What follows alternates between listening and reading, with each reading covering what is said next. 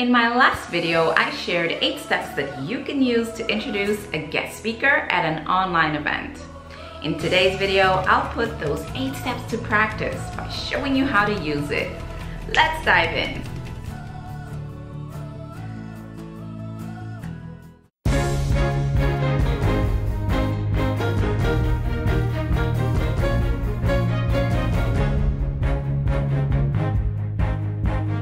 Hello, hello, welcome. Welcome to the Enterprise U virtual event. I am super excited to have you here. Excited about all the amazing conversations that we're gonna have today. Now, before we begin, let me remind you of one thing.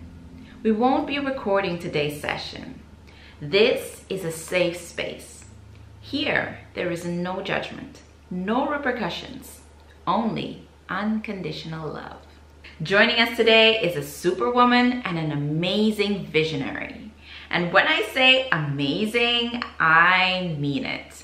What's special about her is that she loves helping young adults just like you to build your public speaking confidence. She believes that the distance between you and everything you want is only one communication away. As you listen to her story, you'll notice the power in your own voice. Today, she'll be sharing her top storytelling and pitching tips to help you with your next business presentation or job interview.